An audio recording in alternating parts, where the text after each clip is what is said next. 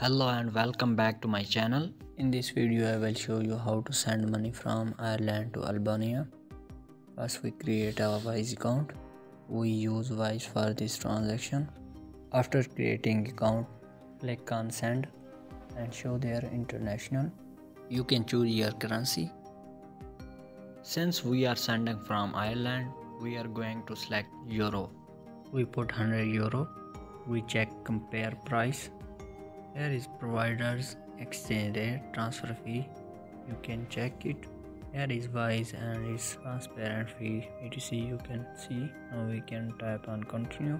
Now we click on there. Click on someone else. Enter their email bank detail ach full name of their account holder ach routing number account number account type checking saving now we can choose our own country in which country we want to receive our money. Select Albania enter your city name full address and postcode and then we can confirm.